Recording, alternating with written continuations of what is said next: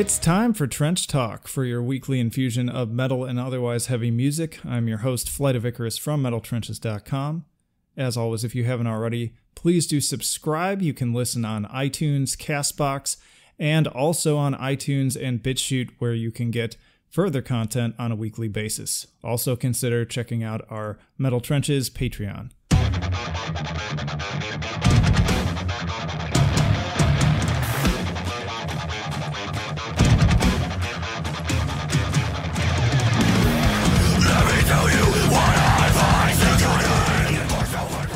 My name is Spencer, Spencer Lynn, and uh, I'm in the Odious.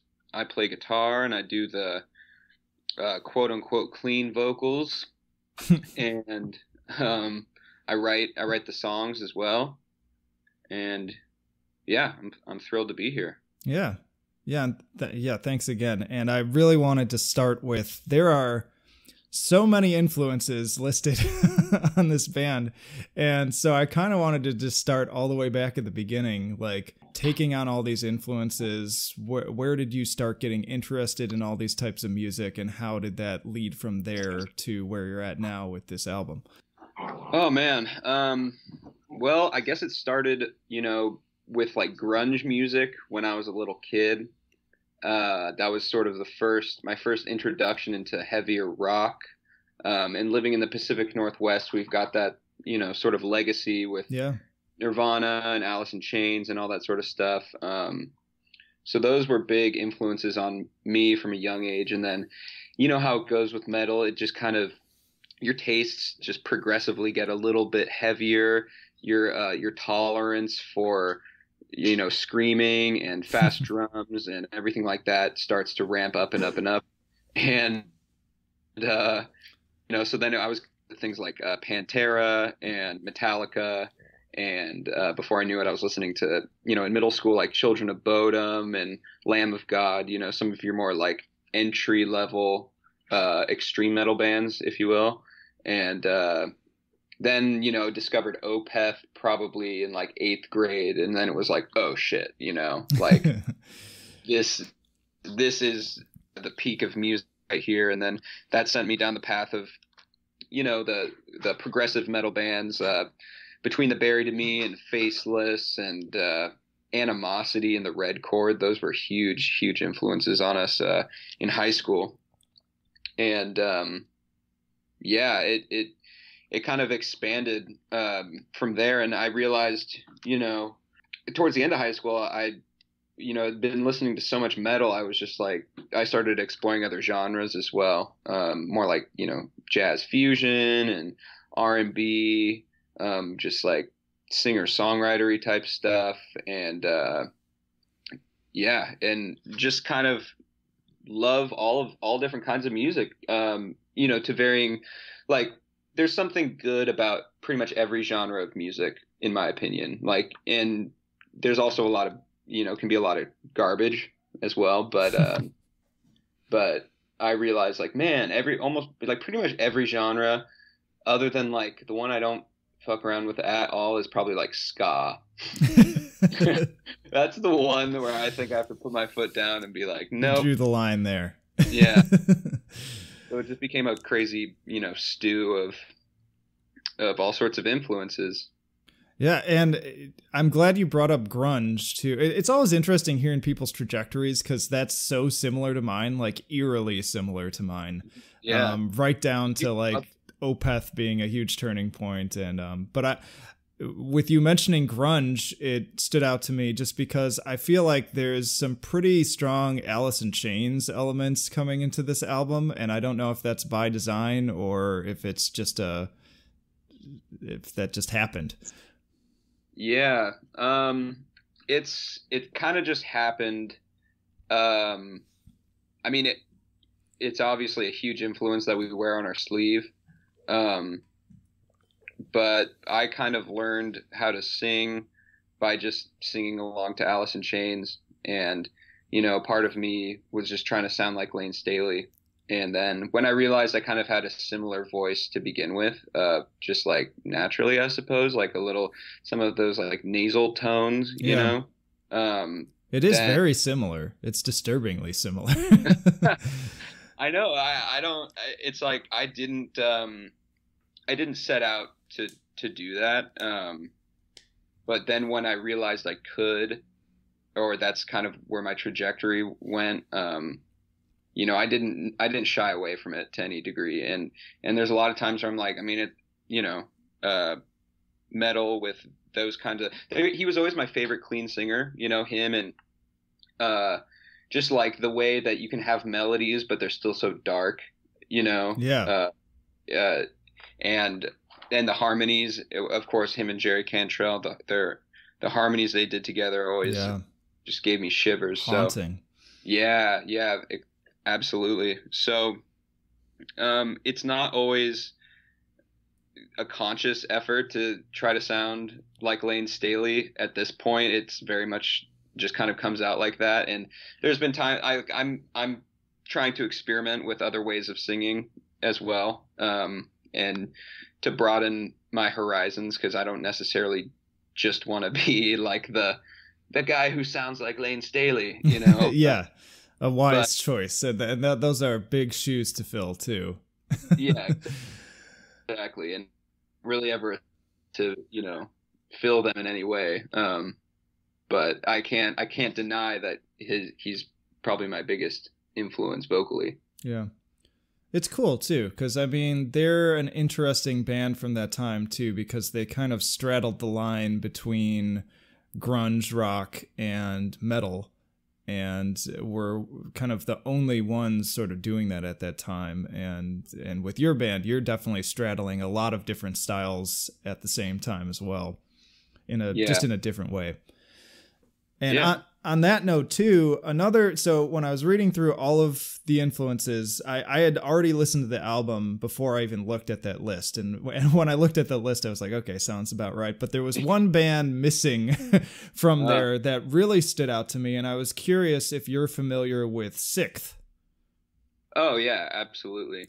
So that was to me like the most obvious comparison and yeah. I don't know if you feel the same way at all, but I was like, there's no way that this guy doesn't know about this band because there's some very obvious uh, similarities here. Yeah, um, no, I, I love Sikth. Um, death of a dying, death of a death dead, of death of a dead day. Yeah, yeah death man. of a dead day. I always think I'm saying I'm like that can't be the album title, but it is. Um, yeah, I I loved that album when I first discovered that in high school. Um, yeah, we were all listening to that nonstop. So absolutely, Sikth is is a huge influence, and the way they tastefully do the you know sort of uh, technical riffage, but still make it very catchy um, and groovy. All of the crazy grooves and the crazy unhinged vocals. You know, uh, yeah, definite, definitely a big influence. I I didn't really uh, I, I need to catch up on their newer stuff because I know that they've been active recently. I managed to see them when they came to the Hawthorne. Um, oh, I was almost at that. Sh- did they play with uh, Periphery? Yeah, uh, I was almost at that show. Oh man, I was... was... all lined up. I even had a photo pass and everything, and then I had like a tragedy in the family, and it was unavoidable. I had to fly to Chicago, and I missed it. And you know, I I don't regret making the right decision of what I needed to prioritize, but I still am like, man, I wanted to see that so bad. Yeah, it was it was pretty awesome. It was definitely a, a bucket list um, band for me personally. That uh, I, I it was bands you never think you're going to see, you know, and it was very cool. But yeah, that's that's definitely spot on and a very good observation as far as the Sikth influences. That's kind of a thing that I I forget that I'm influenced by, but it's because it's so a part of my you know musical vocabulary yeah. at this point. I'm like, oh yeah, totally. You know. Yeah. They're kind yeah. of more obscure, like especially since before they did their kind of comeback, like yeah, nobody really knew who they were except for people who were like you know deep into sort of the mathcore and kind of technical metal, progressive metal kind of scene. Yeah, yeah, absolutely. They they belong up there. You know, like without them, there would be no Periphery or you know whatever you want to classify as djent and all that sort of you know those all those hot buzzwords. But yeah, Sikth was always the very a very sort of uh, uncompromising version of of all of those bands. You know, uh, so yeah, huge influence. And and when you find something like that, uh, you know, when you're like 14, it just is completely blowing. You know. Yeah, I I remember the first time I saw the music video for Bland Street Bloom, and I was just like. I yeah. I was like this this is crazy. Like I I don't think I'd really heard anything that sounded and I use this phrase all the time unfortunately, but I, it's true. Like I had never heard anything like that before. Yeah. No, I uh, me, me, neither. Um cuz yeah, the uh yeah, I, I think I was going through a period of time where I was particularly militant about like no clean vocals in metal. you know, like I think most metal fans go through a period like that at some point in their life, you know, and uh, they're one of those bands that lifted me out of that because of how tasteful their clean vocals were, and um, you know, because like there was that whole period in like you know 2008 ish kind of where you're you're hearing you're like Asking Alexandrias and you're like Miss May I or whatever, yeah, yeah. By, you know, whatever the fuck, all those bands and um, I I would never got into the pop punk stuff, you know, which I think is a huge influence on those bands and their their vocals. So, yeah. though all of that, uh, the popularity of that stuff always just mystified me a little bit, and then I probably had a reactionary uh, feeling towards it and just went further down like just death metal and you know like just heavy shit and um but so Sikth was one of those bands where I was like, okay, I guess clean vocals can be cool in metal, you know. Yeah, and they do so much with the vocals in that band. I mean, they they get kind of uh I've heard them called Korn core, which I think hmm. people use as like a a mean thing to say, but to me I'm like no, that that is kind of what it is. Like, and that's cool. Like, I mean, yeah. Jonathan Davis is a rad vocalist too. Like, I have huge respect for that guy doing something completely different that nobody else was doing at the time. Oh yeah, totally. I totally agree. Cool. So let's move into the album. So I'm not even sure if I'm pronouncing it properly. Is it Vesica Pisces? Yeah, I think I, we've just been saying Pisces. Pisces. You know? Okay. Like just a normal it's just spelled differently. It's um, it's a shape.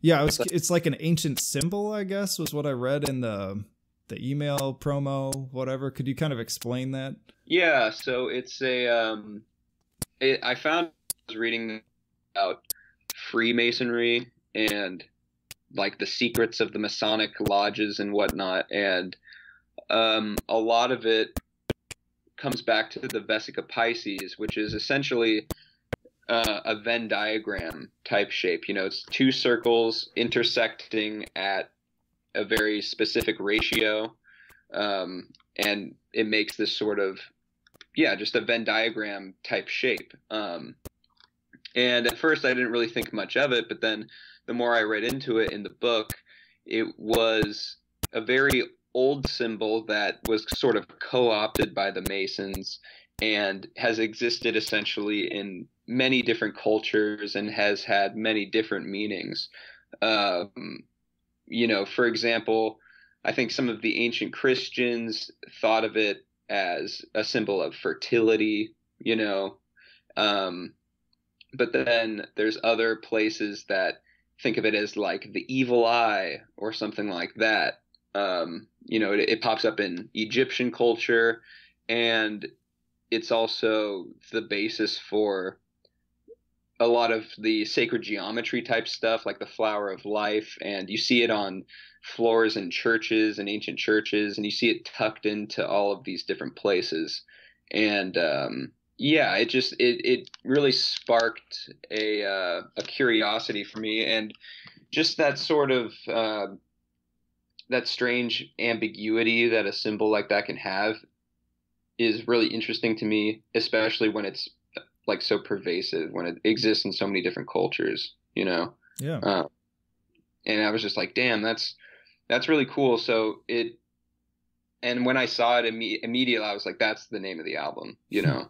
like, I want people to look up that shape, you know? And this album's also kind of like the the third part of a trilogy. Am I understanding that correctly?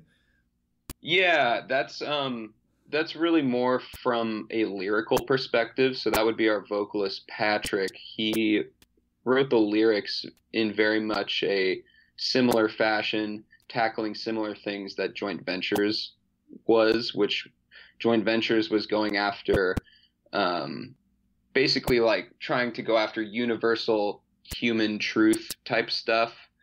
Um, you know, very basic thing like exploring sadness or death or happiness, you know, basic stuff, but then coming at it from like a very, you know, kind of neurotic and and modern and and uh, you know scattered sort of perspective. And uh, Vesica Pisces kind of puts a cap on that because it it sort of brings to a close that whole era for us, um, which was a very tumultuous time, uh, which is probably why the music turned out so crazy.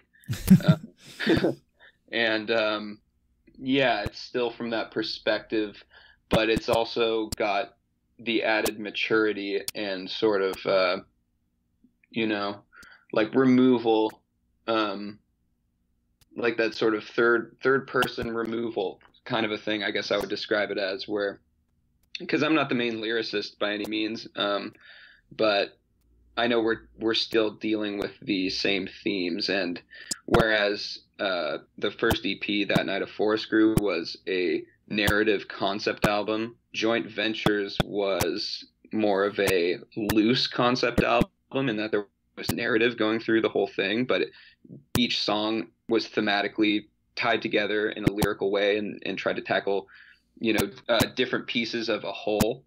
And with Vesica Pisces, it's even more sort of zoomed out lyrically, I would say, and and um, it's like the, it's like the same character. I, I want to say, you know, it's like the the same. It's like Patrick is playing the same narrative character on all three of these albums, and I think he would be able to explain it better because I mean, in all honesty, the music itself wasn't necessarily written as like a trilogy. Like I didn't write all three albums at the same time or anything like that, you know. But we're like, oh, stylistically they all fit, and then we know the stuff that we have even more material coming down the pipe, and we're like, that's, you know, even its whole own thing. So we we wanted to wrap it up um, in a nice, neat little way, you know. It's always interesting to hear different bands approaches to songwriting because I mean some people start with the lyrics and then others it sounds like with you like the music's already written pretty much all the way before any of the lyrics come into play at all. Yeah. Yeah, that's that's usually the case and um sometimes I'll have an idea for a lyrical prompt or something like that, but usually it's just um I'm just going by my ear and my gut and then that will inspire something within Patrick. Like you know, he'll hear something and be like, "Oh, this this makes me think about you know uh, uh, some sort of specific emotion." And then I'm like, "Yes, run with that." You know, we try to keep it more on the more open ended and like kind of fluid in that way, I suppose.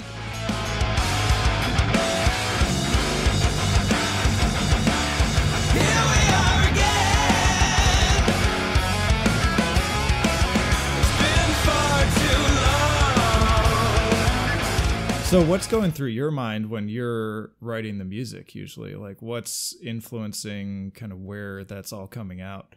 Um it depends. Sometimes I want to hear a really cool guitar riff, you know?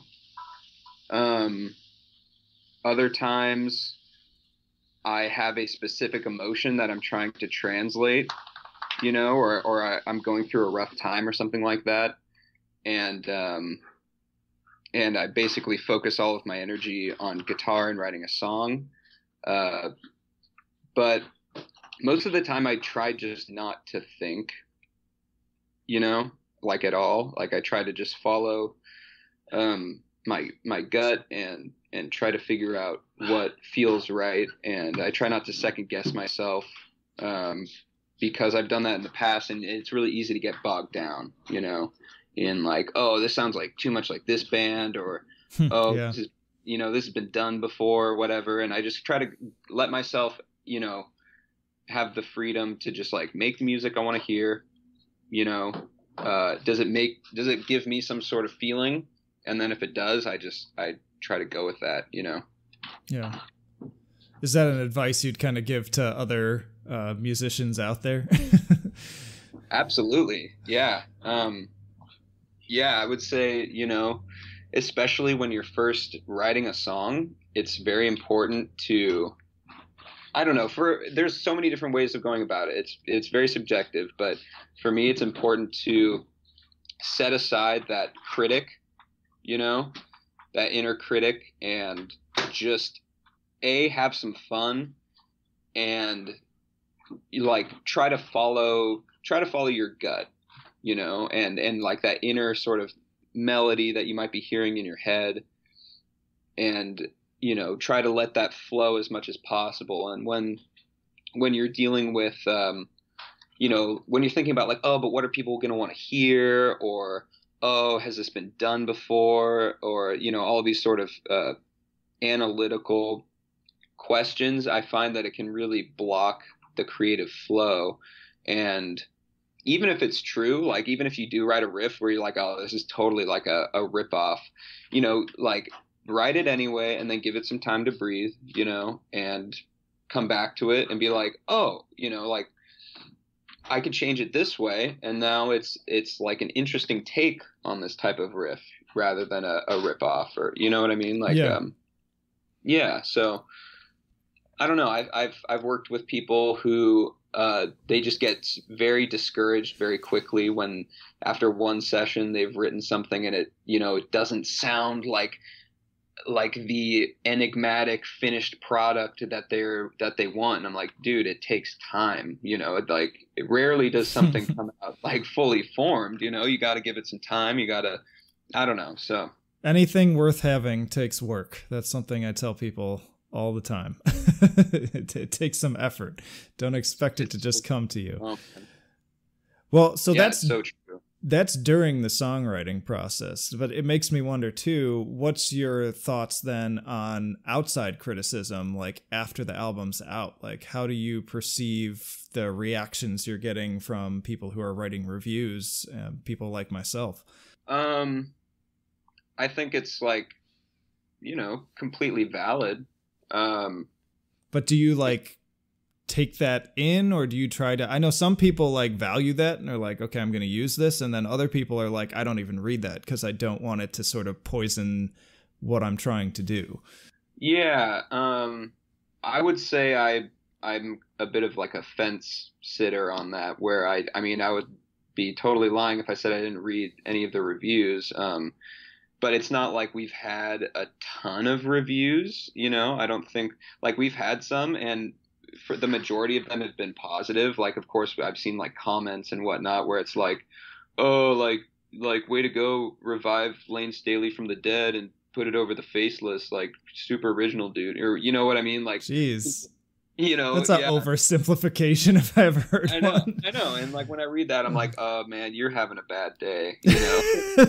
You know what i mean? And and i i don't let that get to me. Um uh, people who somebody's not getting enough love in their personal life right now. Yeah.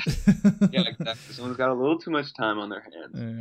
Yeah. Uh, but you know i i do um especially people who like really listen to a ton of music and take their critique seriously, you know, I I would at least at least in this point in time I'd be inclined to to listen and, and read to what they had to say. Um, and I guess I haven't been confronted with like a total like panning of anything that I've done yet, you know, and I feel like, you know, that's gonna happen if if like the more successful you get or whatever, you know, if and hopefully that happens, uh you know you you find people who just don't like your music and i i know that i can't please everyone you know um and that's just going to be something that happens and uh you know ultimately i just have to come back to making the music that i want to hear and you know hoping that other people out there enjoy it as well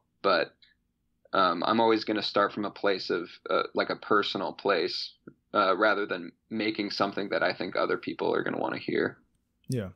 Fair enough. Yeah, I I think that's a good way to look at it. I was just kind of curious. No, it's a um, good question. It made me. It really made me think. Actually, I was like, huh, yeah. yeah, I, I've.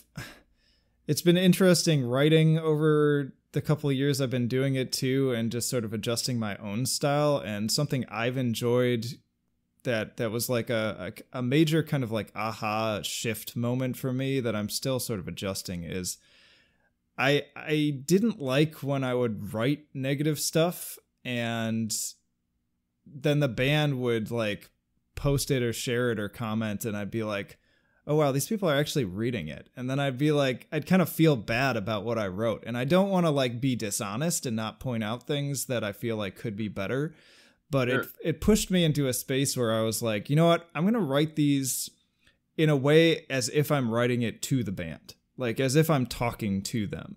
And I liked taking that approach because then, even when I had feedback, it kind of forced me to really think about how I was writing it and make it feel constructive instead of just joining in with the typical kind of like shit talking uh you know let's let's get people to click on this out of like rage or whatever um and, and move away from yeah. that and and um i've had some bands get back to me too and say they appreciate that so um, That's awesome. I'm man. hoping that continues to be a thing.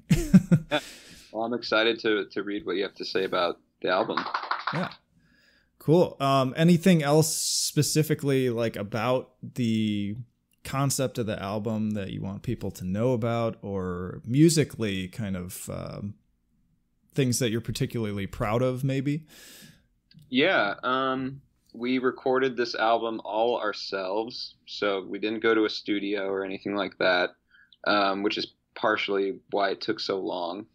Um, we recorded all live drums, uh, which Vesica uh, uh, Joint Ventures had programmed drums on it, um, and so we were really proud about that because they're very difficult parts, and uh, our drummer Garrett really killed it, and I just yeah, I'm I'm just really proud with um, some of the risks we took. You know, we probably could have gotten the album out faster had we not stuck to our guns in that D- DIY sense. Um, but we knew that if we did that, we would probably end up with a more unique product, which is ultimately the kind of stuff that we like. Um, is you know unapologetically just itself I, I suppose. And um, so I'm really I'm really happy we did that. Uh, that was going down. It was very frustrating and it was a difficult process a lot of the times. Um, it's but, a lot of work. Yeah, man. Oh man, it's so much work and so so little money. you know what. I mean? Uh-huh. Like so, it's just it, it, it was a labor of love and and uh, we really poured everything we had into this album and um, the years following joint ventures were really rough for all of us. And so Vesica Pisces is, you know, the culmination of all of those years. So there's really a lot of, um, there's just a lot of real emotion on the album. And, um, I'm, I think it translates pretty well. And so, uh, yeah, I'm, I'm, I gotta say, I'm, I'm proud about that, you know, um, and, I'm I'm really excited to to keep it moving forward because, like I said, we've got we've got uh, you know stuff in the works that is even more different, and um, you know, I mean, it's always going to sound like us, but um, yeah, I'm I'm excited for the future again of music, and there was a there was a period there where it was it was getting a little bleak, you know, but uh, but I'm just glad we all stuck in there. Yeah, would you be willing to expand on that at all? I'm always interested in people's personal struggles because uh, my main field is actually in counseling, so I, I tend to pry. oh, really? Um. Well, expand on everything. Um, we just we had a, a lot of member changes. Um, there were, I mean, it's all stuff that we're probably going to talk about. Uh, at some point in the future, but a lot of it isn't really my thing to share. You know what I mean? Fair enough. Yeah. You don't want to um, be putting somebody else's business out there. Exactly. Um, but suffice it to say, there was, you know, us like 2014, the band more or less imploded on itself um, for a myriad of reasons, and uh, and it was also coming at a time when we were getting label attention, and uh, you know, we had like weird uh, like investor people like flying out to see us and stuff. Like there was a, a, good amount of hype around the band at that period of time, right after JV, and we were playing a bunch of live shows. And uh, to have everything sort of explode after that was, you know, pretty devastating, especially for for me personally because I hadn't really experienced any sort of like abject failure uh, up until that point. You know what I mean? It, it had been predominantly like us writing stuff and then getting like a pretty good reception. Like we get, we released uh, That Night a Forest Grew when we were in high school, and we just kind of put it out into the world. And lo and behold, it was just like at that time where you could still kind of get traction from the internet like randomly like you didn't have to pay facebook you didn't have to you know do all that sort of stuff. the stuff. good old days. Yeah. I missed a lot of that. Yeah yeah the good old days. And uh so that we were on a pretty solid upward trajectory for a while. So to experience that kind of thing where everything kind of falls apart at once was, you know, pretty, pretty devastating and, um, and it, and really forced me to question like, why do I do this? You know, like, why do I make music? Is it to like, you know, appear to be successful? Am I being in a band so I'm going to get signed? And I was like, no, that's not why.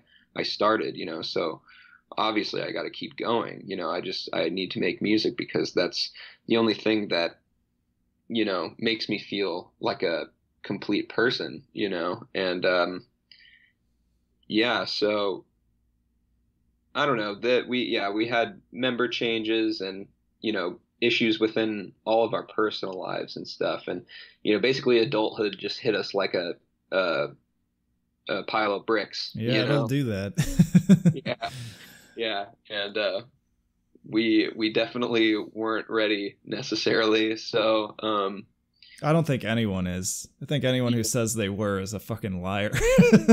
Absolutely, dude. Well, that's that's the funny thing. Like, I do have friends who like they they've been adults like their whole lives you know what i mean and it's like i'm like it's not fair you know but then they look at people like me and you know other dudes in the band and they're like yeah but i went i want your like creativity yeah you, you know? miss things doing that yeah exactly so it's you know it's a it's a trade-off and we're all still trying to find the right balance but yeah um I mean, yeah, it, it sounds yeah. like it's all you know driving forward, and what you're describing is like kind of it's it's a very sort of cognitive behavioral thing. You're sort of redefining like, okay, my life is different now, and and this thing is happening now that's really hard. So how am I going to derive my own meaning from it? And I was actually just talking about this uh, a couple weeks ago with uh, Chris Hornbrook from um, Poison the Well, and oh. we are talking about the idea of how you know it's not that you know, life necessarily inherently has meaning. It's about like, you know, shit happens and it's sort of up to you to figure out like how do I put meaning to this that continues to drive me forward instead of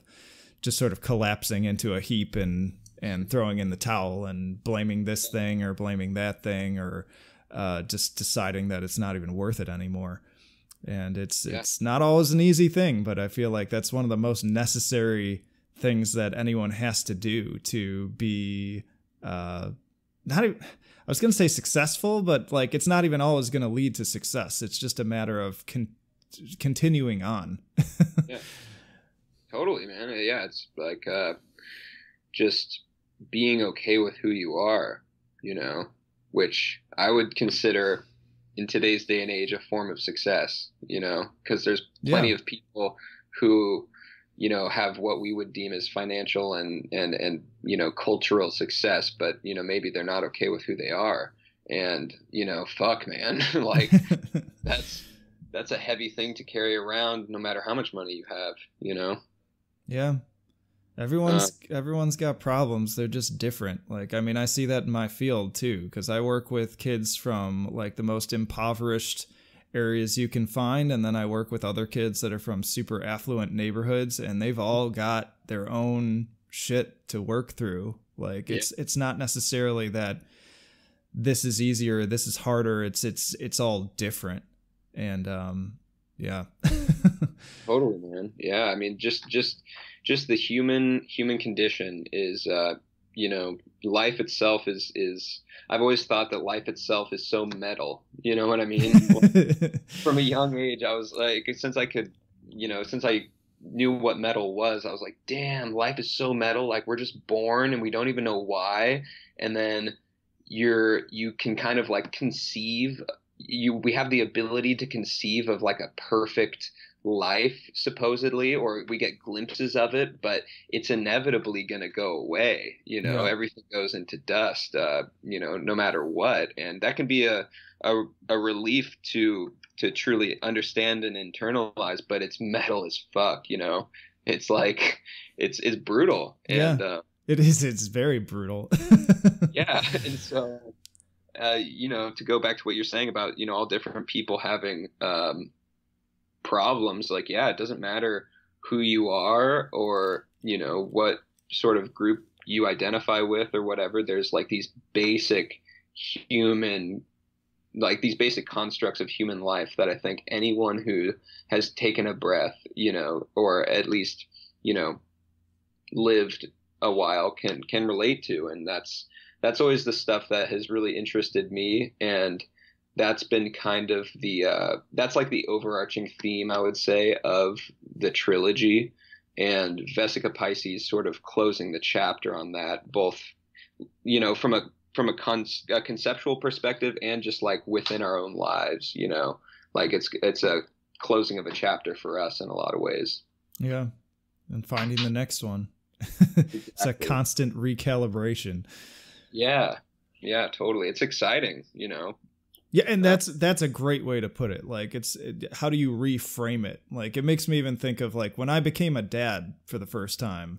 It was yeah. like I had this idea in my head before then of kind of what I wanted my life to be and all this like freely free just freeloading kind of like things I wanted to just do for myself. And at yeah. first when, you know, I got into dad mode, it was kind of like a grieving process of feeling like oh wow, like I have to give that stuff up because I'm not going to be able to do it anymore. And it had to be me getting out of that mindset and saying, I'm not giving anything up. I'm I'm excited. I need to get excited about I'm doing this other stuff instead. Like what yeah. what do I have to look forward to now? How am I going to like recalibrate and take this new direction and get really stoked about that and um yeah i feel like that's something that um, everyone has to do all the time, and and musicians too, especially when you know bands are tumultuous places. This is part of the reason why I have not been in a band in a very long time because it,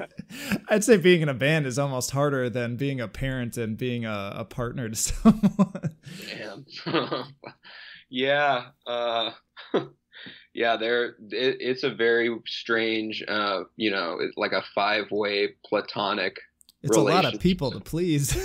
yeah, yeah. I mean, just the logistics of it um, are are are completely ridiculous, and um, yeah, it's it's so hard, man. But it's like when it's working, you know, uh, it makes it all completely worth it. You know, like any sort of relationship. Like, yeah, well, you know, uh, obviously there's like toxic ones and whatnot, but when things are when the gears are turning and you're working with people who are on the same page as you, um, yeah, it's it's an amazing feeling, you know. Um, but man, I don't I don't know that it's harder than parenting, you know.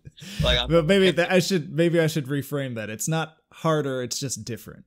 like yeah. I said before. Sure, it's a, you're dealing with adult children rather than actual. yes. Yeah. Oh my gosh. Yeah, I've I've had a few guitar players like that.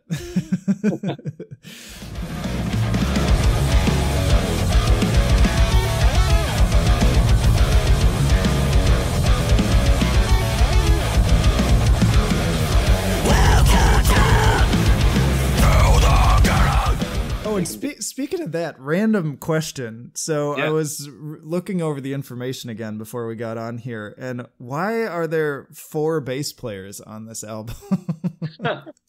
yeah. Um, well, basically because it was, you know, like you said, it's just very hard to get people to do things, especially when there's um, not really money involved, and um, we we play kind of weird, meandering, complex music, and um, it can. I've always been of the mindset that I really don't want to have to nag someone to play this music um, or to practice because the only way it's ever going to turn out right is if you're self motivated and are doing it out of a you know a place of, of love and so that that was kind of an issue in some in some regards as far as like you know getting people to do it. Um, I ended up doing a lot of it because of that you know and I'm not really I wouldn't even consider myself a bass player. Um, but it was just like man this has to get done. And uh you know there's there's i don't i don't feel like you know pulling teeth in order to make it happen. Um and so like i'm i'm really thrilled about the contributions we did have. Like austin um did the first two songs on the album and he he's like a just a ridiculously crazy bass player and he's he's the our, the bass player that we're gonna uh, get to play with us live. Um, but he's also just a really busy guy, and um, you know, just didn't really have time for to do the full thing, at least in the the within the time period that we wanted. And then my other friend uh, Michael, who I played music with for a while, he you know shreds the fretless bass, and I was like, well, Oh, we got to get on there, you know, and um, I don't know, like a, a part of me has been really toying with because I, I actually liked how it turned out, and I like, um, you know, one thing I've noticed about metal is that a lot of albums uh, throughout their runtime have this uh, can sound a little homogenous, you know, where it's like the product, it's like the production doesn't change from song to song. It's like the whole song, like the, every drum, every snare hit sounds has to sound the exact same over the entire album, you know. And it's like, well, what if you have a song where you know the drums are just panned to the left ear or you know what i mean like they're when you listen to like a led zeppelin album for example like each song has like a different production style Yeah. And there's And- those little imperfections too, where like they, they, they're kind of like missed a note or missed a beat or whatever, and that adds to the charm of it. Yeah, totally. And um, that's that's something that I have been really into lately, and um, and I've I've been enjoying collaborating with a bunch of people, and you know, the Odious is always going to be primarily like Patrick and I are the two original members, and um, we're the ones who really like slave over the music, and in the future, I foresee us working with a lot of different musicians to complete the albums, uh, which is what I would like to happen, you know, and um, maybe turning it into more of a collective type of a thing.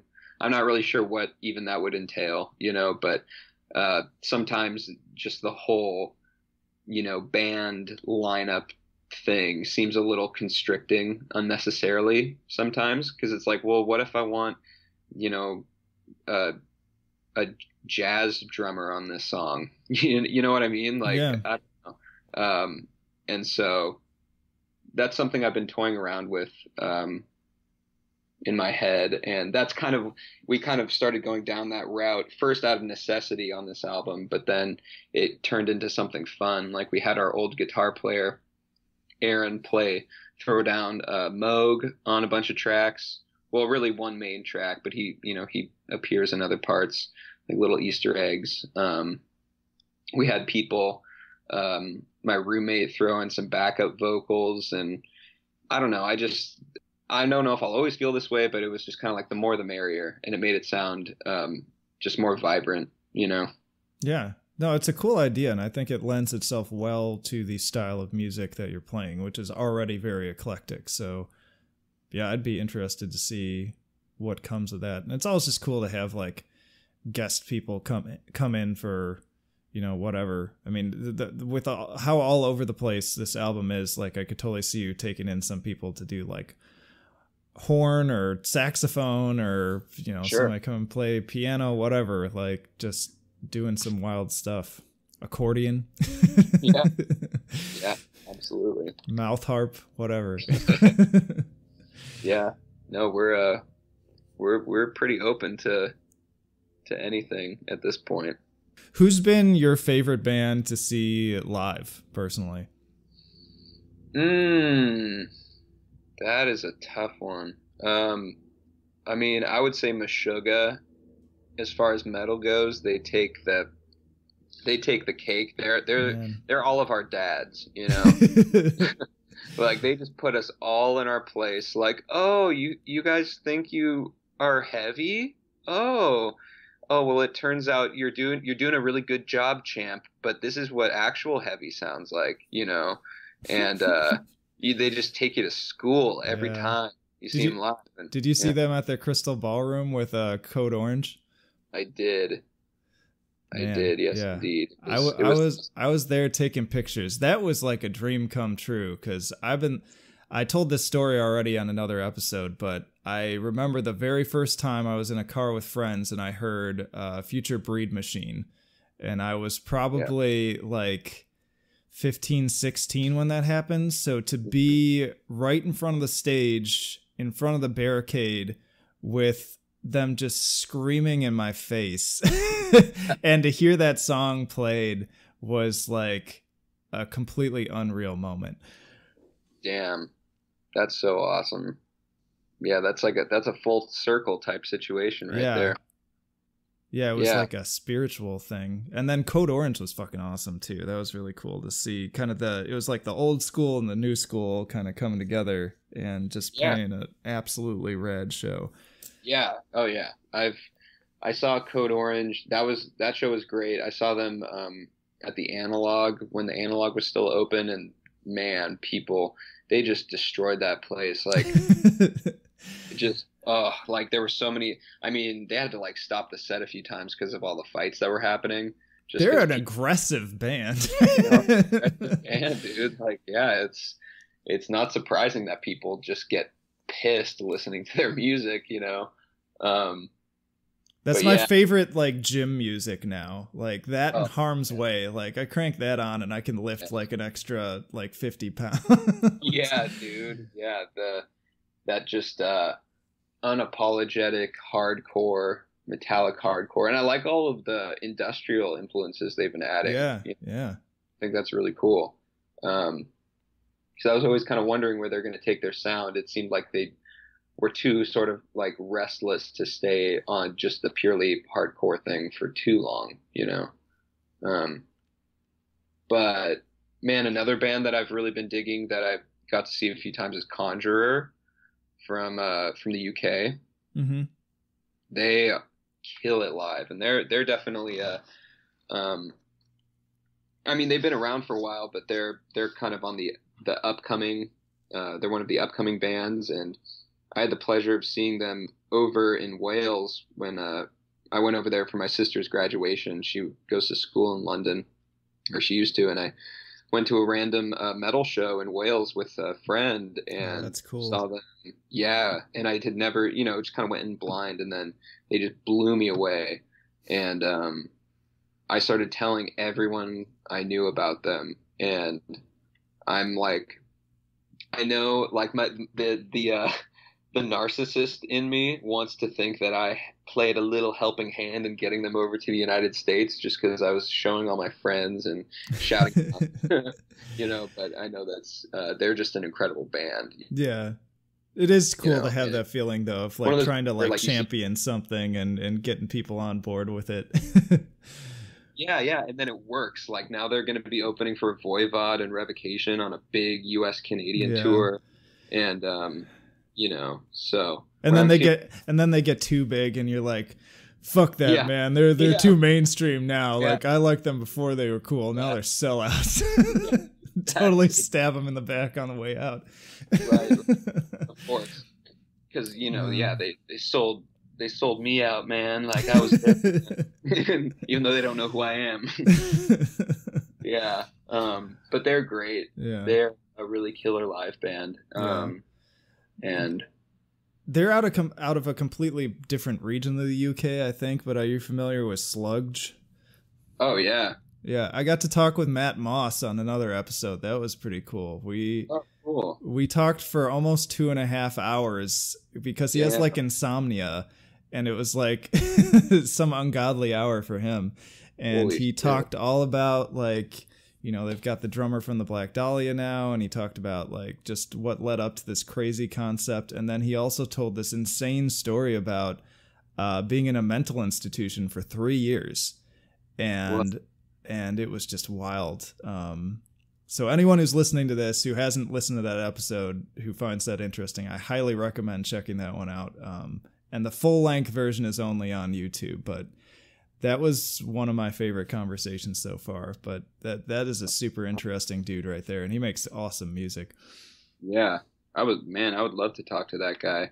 I'm definitely gonna go listen to that too. Yeah, he's totally chill. Like honestly, if you just like hit him up somewhere, he'd probably be like, "Oh yeah, whatever."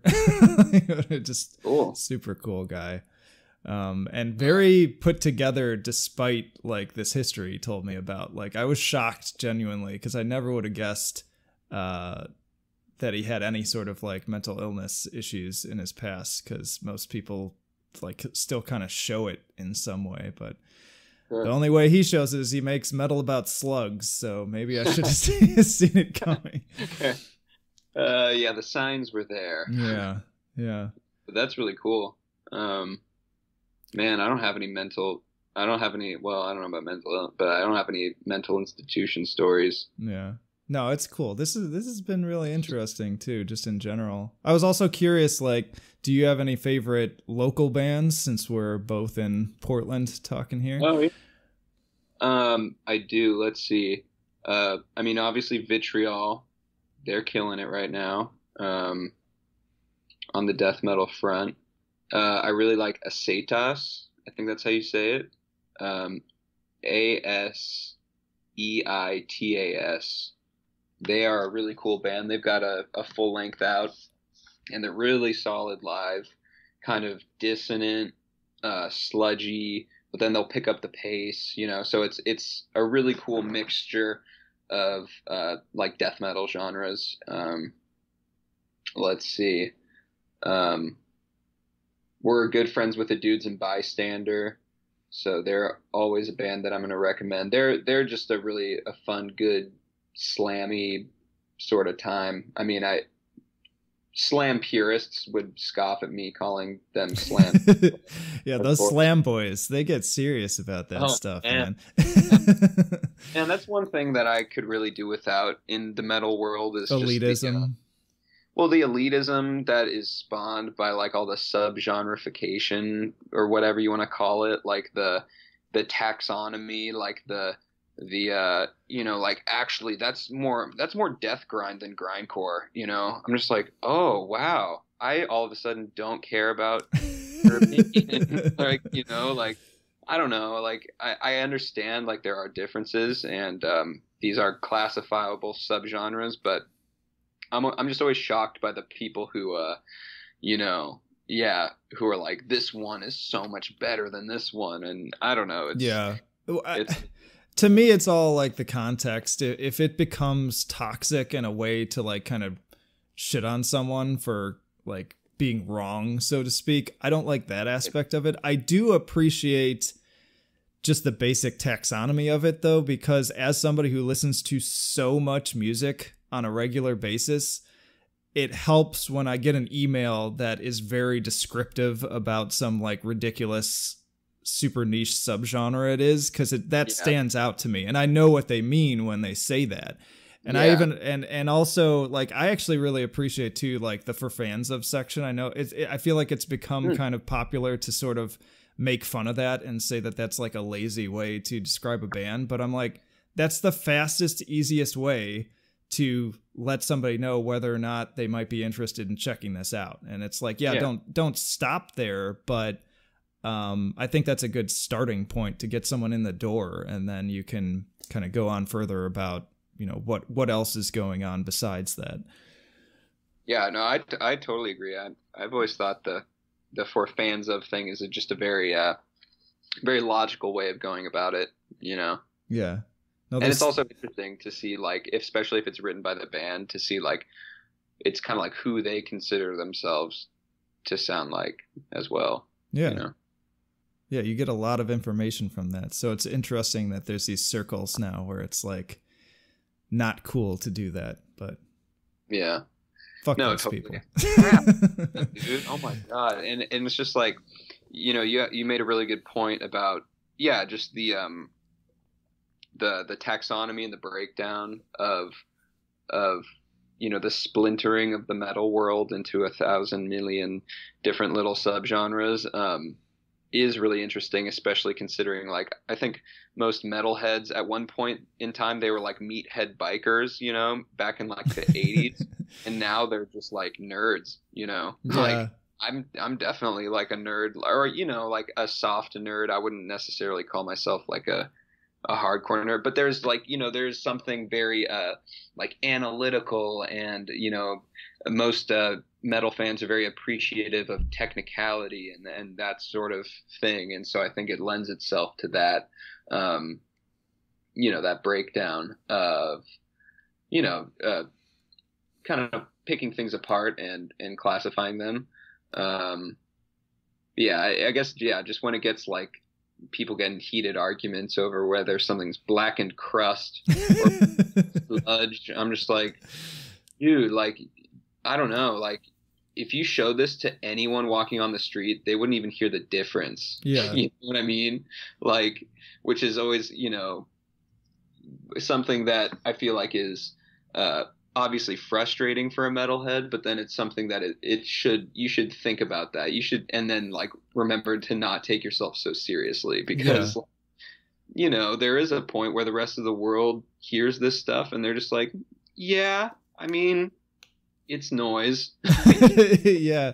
it know? is interesting to step back from it and recognize that there's there's a whole majority of people out there really that not only do they not hear those little subtleties, but they just hear pretty much any loud, angry band the same way. yeah, yes, exactly. They once they hear the screaming, it's like a switch is flipped in their head, and their eyes like glaze over. It's like they're protecting yeah. themselves, you know, from the whatever sort of emotional onslaught that yeah that metal is uh, thrown at them. Yeah. But yeah, I've I've had many a conversation where I've tried to, you know, show someone the difference between like uh like even just like black metal and death metal, you know. hmm Uh, which to me are very obvious. Right right you know like when you're in it like clearly there's a difference but yeah. yeah. you you play it for somebody who just listens to pop music all day and not to shit on them but like they just right. th- their ears haven't acclimated to it yet yeah exactly it's like it and i always forget like how long it took me to you know get to that level like it wasn't like i was just one day listening to morbid angel or you yeah. know um it was like you know, it took years and years of like, oh, there was a point where I thought Pantera was the heaviest shit I'd ever heard, you know? Yeah. Um, yeah. So it, it takes, it's baby steps, you know? Yeah. I said um, on another episode too that I actually couldn't even get into like Darkthrone and Mayhem and all that stuff until really just a couple of years ago. Like mm, I was introduced to it a long time ago, but back then, even though I was listening to like melodic death metal like Dark Tranquillity, and then I was listening to Opeth and I was listening yeah. to Meshuggah. But Sweet. it was like I drew the line there though. Like somebody played Darkthrone for me and I just didn't get it. But then, you know, years later it, it just clicked. yeah. Dude, absolutely. That's how I feel about um yeah, more of that dissonant stuff like Ulcerate, Deathspell Omega. Yeah. Dude, Ulcerate yeah. is the shit. They're the shit, man. Like that to me now I love that. Like if I want to listen to metal, I'm gonna listen to you know, Gorguts, Ulcerate, Deathspell Omega, like, Yep. you know, like let's not beat around the bush. Like, if we're gonna do metal, let's do it like to the All the way. Yeah. yeah, all the way. Um, I saw Ulcerate play here too. Um, yeah, dude, I was at that show as well at the Tonic. Yeah, with yeah, yeah, with Zhrine. yeah, That was a fucking rad lineup, man. that was, that was so cool.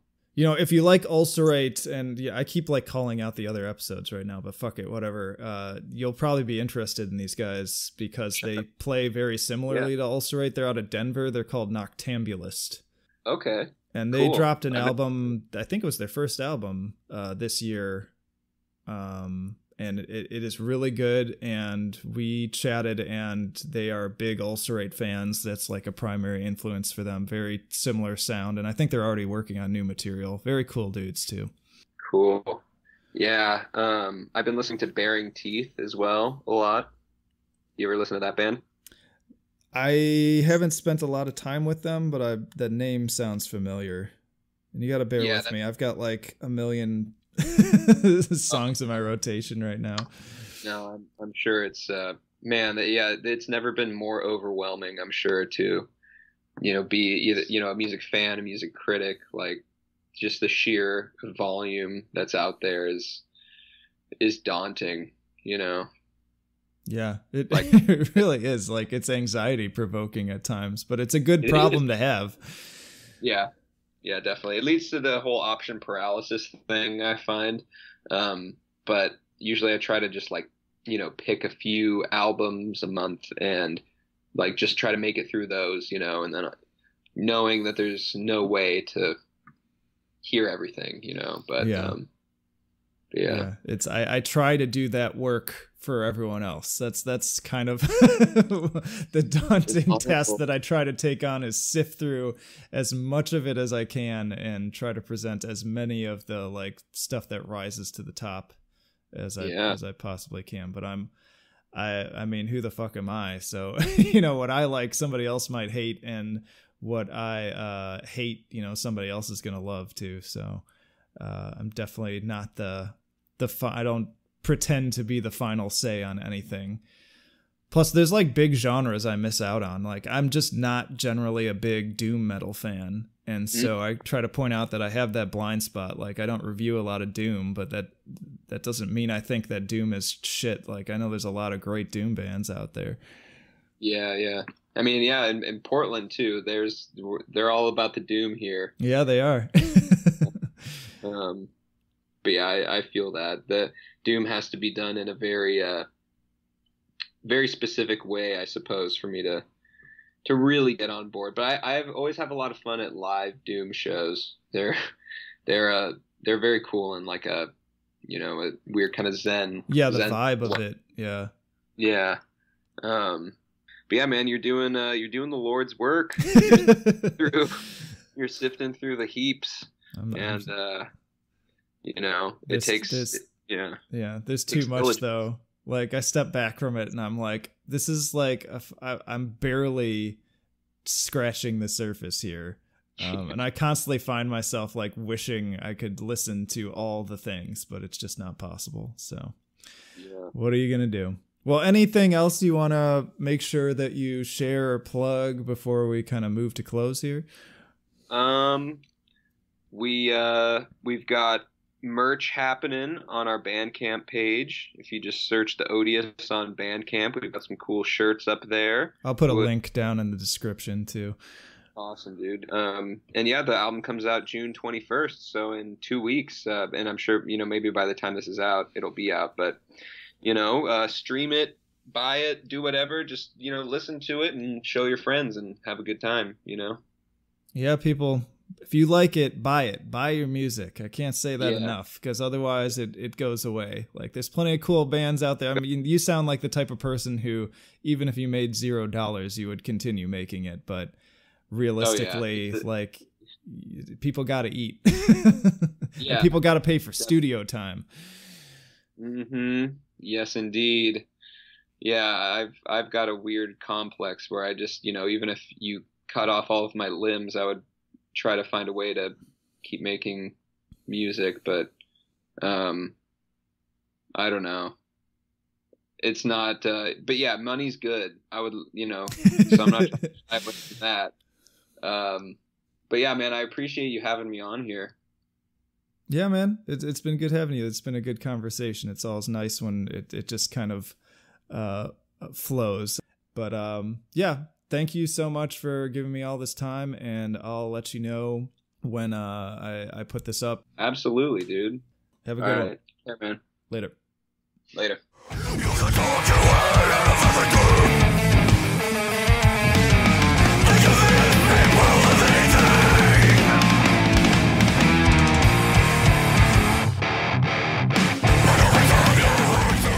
That'll do it for this episode of Trench Talk. Thank you, as always, for listening and for all of your support. Please do subscribe to the channel if you haven't already. Again, we are on iTunes, Castbox, YouTube, and BitChute. Put out new episodes every week. Stick around, listen to our back catalog of episodes if you're new. Share episodes with friends. We're always looking to grow our audience. And if you're a returning listener and you feel like you're getting added value out of this podcast, be it from learning about new bands, getting a laugh, getting some motivation and positivity, whatever, consider hitting up our Metal Trenches Patreon page. Just a dollar a month makes a huge difference, but if you join at the $5 or $10 tiers, you get some added perks there, including hearing these podcasts early and also getting shout outs on the podcast, whether it be you, your band, whatever. Also, in addition to following us on social media, we do have a mailing list that I send out personally every Friday. That is the best way to make sure that you do not miss any content because, as many of you probably know, social media is freaking garbage right now. and is not usually kind to sites like mine. You will often just not even see it in your feed, so you won't even know when stuff is going on. But that will not happen if you are on the mailing list and you also make sure that it doesn't wind up in your spam folder. But that'll do it for me. This is Flight of Icarus signing off. I will see you in the trenches.